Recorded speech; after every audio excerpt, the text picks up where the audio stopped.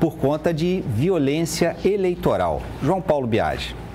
Oi, Tardan, muito boa noite a você, a todos que nos acompanham. Era uma sessão administrativa do Tribunal Superior Eleitoral, mas antes dos ministros entrarem ali nas discussões que estavam na pauta, a presidente Carmen Lúcia, que é quem comanda ali a Corte Eleitoral, informou que enviou ofício à Polícia Federal, ao Ministério Público Federal, também a todos os presidentes de tribunais regionais eleitorais, para então tentar aí, em conjunto, em uma força-tarefa, conter, nesse finalzinho de campanha para o primeiro turno, a violência eleitoral, que, segundo Carmen Lúcia, tem sido muito grande, principalmente nessas eleições municipais de 2024. Ela não citou nenhum caso, mas a gente lembra que tiros foram disparados em carreatas de candidatos em Calcaia, aí pertinho de Fortaleza. A gente também lembra o soco dado pelo cinegrafista de Pablo Marçal, ali em Duda Lima, marqueteiro de Ricardo Nunes. Inclusive, Carmen Lúcia fez uma referência a esse caso, dizendo que essa violência eleitoral não é praticada apenas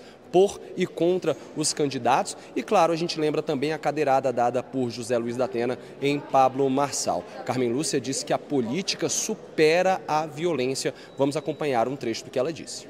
Política não é violência, é a superação da violência. Violência praticada no ambiente da política desrespeita não apenas o agredido, senão que ofende toda a sociedade e a própria democracia.